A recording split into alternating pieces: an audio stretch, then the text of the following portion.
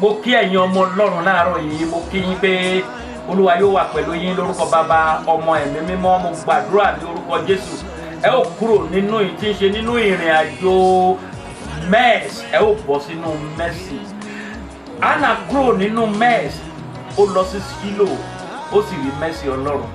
Joseph kúrò nínú tí ń mess ó lọ sínú yìí tí ń ṣe inú mercy bẹ́ẹ̀ gẹ́gẹ́ ẹ̀yin ọmọ ọlọ́run tí ẹ ń gbọ́ mi ẹ ó kúrò nínú mess it is a mess kéèyàn wà láyé kó má ro oúnjẹ jẹ kéèyàn má rí ilé gbé kó má ra aṣọ wọ̀ kó má lè tilẹ̀ lè fún ìtíṣe ọmọ lówó léèwé it is a total mess.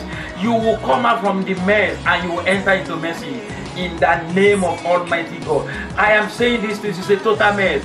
Mess is all over the places. Mess can be dehumanized. Mess can be a problem. Mess can be affecting you mess can stop your glory. Mess can stop whatever thing you desire to do in life. Come out from your mess and enter into mercy in the name of jesus. Wà wọnú ìtíṣe ògùn ẹ. Kúrò nínú mess.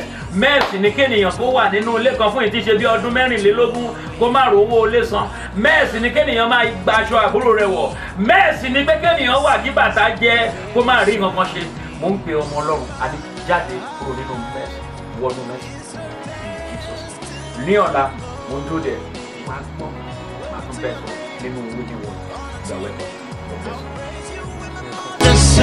Jehovah, my mind on a of more.